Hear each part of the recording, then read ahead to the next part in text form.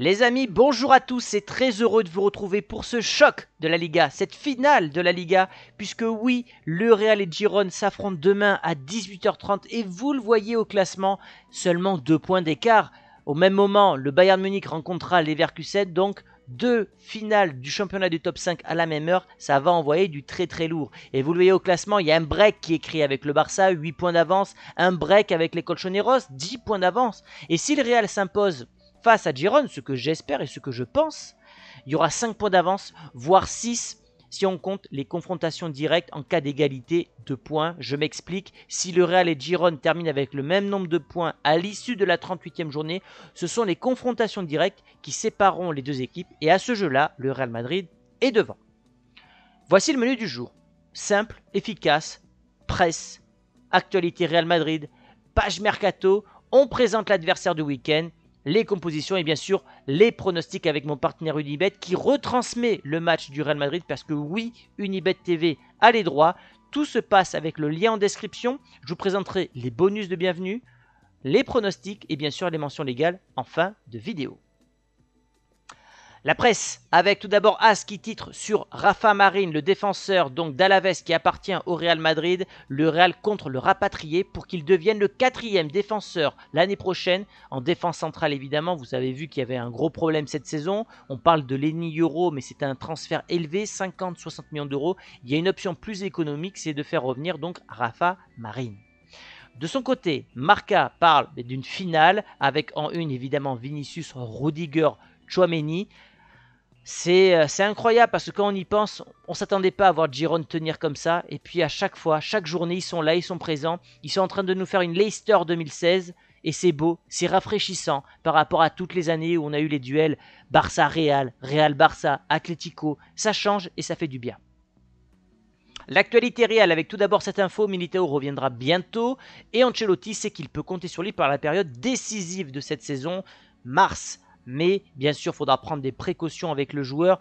Mais je ne vous cache pas que je serai très rassuré de voir le Brésilien aligné avec Rudiger. Sera déjà meilleure gueule que Nacho euh, Mendy, par exemple. Donc très content de cette nouvelle. Lounine qui a dit qu'il a un contrat jusqu'en 2025, il ne sait pas ce qui se passera, mais évidemment il veut prolonger avec le Real. Il a eu la confiance du board, la confiance de ses coéquipiers, la confiance de Carlo Ancelotti qui l'a fait passer devant Kepa. Kepa qui, on le sait, ne sera pas prolongé par la Casablanca à l'issue de cette saison. Maintenant voilà, une question va se poser euh, pour le portier ukrainien. Est-ce qu'il va vouloir redevenir numéro 2 de Courtois ou est-ce qu'il va vouloir devenir numéro 1 dans un autre club en Espagne ou ailleurs. C'est lui qui a les cartes en main et c'est lui qui choisira. Moi, évidemment, je souhaite qu'il continue. Il a prouvé qu'il avait les capacités pour être un joueur important du Real Madrid. Il a déclaré également à Chiringuito TV que s'il avait le choix entre Mbappé et Haaland, il partirait sur le profil du Norvégien en tant que numéro 9. Et je bois ces paroles. Oui, vous le savez, en tant que numéro 9, je trouve qu'Haaland irait plus, se, se fondrait plus facilement dans ce 11 du Real Madrid avec un profil différent. Mais maintenant, euh, on ne sait pas ce qui se passera si le Real arrivera à prendre Mbappé, Haaland ou aucun des deux. Ancelotti a dit cet après-midi en conférence de presse que Vinicius est prêt à jouer. Ça a été confirmé par un journaliste espagnol qui confirme même que Rudiger devrait revenir. Ça va faire du bien. Alors je ne sais pas si l'Allemand sera à 100%. Il avait pris une énorme béquille qui l'avait empêché de jouer le derby madrilène, souvenez-vous.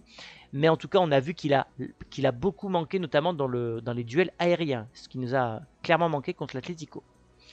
Au niveau des convoqués, vous le voyez, on est sur euh, quelque chose de classique. C'est un visuel que j'ai pris sur le site du Real Madrid, enfin sur les réseaux sociaux du Real Madrid. Et il y a un nom qui devrait attirer votre attention, c'est Jacobo. Jacobo Ramon, défenseur du Castilla. Je ne le connais pas, donc je serais curieux. Et je suis content que le Real fasse appel à des joueurs issus du cru parce que c'est un peu ça aussi finalement le but du Castilla, c'est d'aider l'équipe numéro 1 lorsqu'elle est en danger ou lorsqu'il y a besoin euh, de joueurs. Donc content que le Real fasse appel à des joueurs comme ça. Maintenant, soyons honnêtes, est-ce qu'il va disputer des minutes contre le second de la Liga? Je n'y crois absolument pas. Il est seulement là en cas de scénario cauchemar, blessure, expulsion, etc. etc. La page Mercato, avec tout d'abord une info de The Athletic. Le Real Madrid a plusieurs réunions avec l'entourage d'Alfonso Davis pour lui montrer le projet sportif. Le club lui a demandé de ne pas prolonger, mais le Bayern reste confiant quant à l'idée de le convaincre de prolonger. The Athletic, c'est très sérieux comme média. C'est selon moi aussi crédible qu'un Fabrizio Romano. Voilà, on verra si ça va se faire. On va pas épiloguer pendant deux heures, sachant que le Real a une option B. J'en ai parlé dans, ma dernière vidéo. C'est euh, Alfonso, c'est Miguel Gutiérrez qui donc appartient encore au Real Madrid. Ils ont une clause de rachat. 8 millions cette année. Enfin, il appartient à Giron, mais le, club a une clause de rachat. 8 millions cette année, 9 millions l'année prochaine, 10 millions en 2026. Mais attention, la concurrence est féroce. Arsenal, le Bayern, City et Chelsea sont sur le joueur pour un transfert, je crois, avoisinant les 35 millions d'euros. Donc, si le Real veut le faire revenir, ça sera cet été ou rien, parce que je pense qu'il quittera le club catalan. Et la CR qui nous dévoile une dernière info mercato. Florentino Pérez aimerait réunir Mbappé et Haaland dans la même équipe. Alors perso, je n'y crois absolument pas parce que faire, signer déjà l'un des deux, ça serait exceptionnel. Mais alors les deux, on l'a vu en 2022, on pensait qu'on pouvait faire venir les deux. Et finalement, on n'en a signé aucun des deux. Et puis surtout, comment tu joues? Euh, T'as déjà Vinicius, t'as Rodrigo, t'as Bellingham. Ça me paraît évidemment impossible. Mais la CR, peut-être qu'ils disent ça pour, pour vendre du papier, avoir des clics, j'en sais rien. Évidemment, vous savez pour quel joueur je donne mon aval. On passe, allez, à l'avant-match de cette finale de la Liga, Real Madrid-Giron, classement incroyable. Il y a un seul match nul hein, qui sépare, euh, il y a un match nul en plus, une seule défaite pour Giron, c'était le Real Madrid au match aller 3-0. Une seule défaite en 23 rencontres de Liga, c'est du jamais vu évidemment dans leur histoire. Ce qu'il faut retenir, c'est que le Real a la meilleure défense et que Giron a la meilleure attaque. Et normalement, si je compare plusieurs sports, la défense a souvent l'avantage sur l'attaque, donc je donnerai un avantage sur le réel dans mes pronostics, vous le verrez en fin de vidéo. ça c'est hum, les derniers matchs de Giron, pardon. Et j'ai envie de dire, c'est le bon moment pour les prendre. Une seule victoire sur les trois dernières rencontres, un seul but inscrit sur les deux derniers matchs, et surtout, au-delà des résultats, je trouve que le club catalan affiche une certaine fatigue au-delà de l'heure de jeu. Peut-être qu'ils commencent ben, à, être fatigués de tous ces matchs à répétition, sachant qu'ils n'ont pas un banc aussi fourni que le Real par exemple. Et au-delà de, cette fatigue, je pense en plus de ça qu'ils ont un schéma tactique et un style de jeu qui va permettre de faire briller les individualités du Real Madrid. Donc je pense que c'est le bon moment. Il y a eu des périodes où ils étaient en feu. 4 buts contre l'Atletico, 4 buts contre le Barça, 3 contre Alaves. Là, j'ai l'impression qu'ils sont en train petit à petit de marquer le pas. On verra ça si ça se confirme ce week-end. Le système. Il y a deux systèmes employés par Sanchez Munoz. C'est un 4-4-2 à domicile, un 4-5-1 à l'extérieur. Et quand ça devient compliqué, ce 4-5-1 ce 4-5-1 pardon, se transforme en 4-4-2. Il y a des joueurs évidemment qui brillent. Je peux penser à Dovbik, co-meilleur buteur je crois de la Liga. Pablo Torre qui appartient au Barça, Gutiérrez, ancien de la Maison Madrid, Danny Blin, Yann Couteau, qui est visé également par le Real.